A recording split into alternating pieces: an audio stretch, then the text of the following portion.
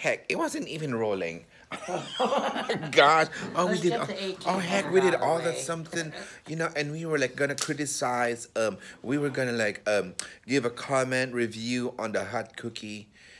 Um, where they have all these like pastries all shaped into different kind of appendages, and um, I had the honor of having a white cookie. Did you turn it on? Yeah, I, um, it's on, silly. Oh. It's silly. Oh my gosh! I'm like, anyway, it was so delicious. Um, there was no filling. It was just like crunchy. I think it was like macaroon base or something. Oh my gosh! It was quite.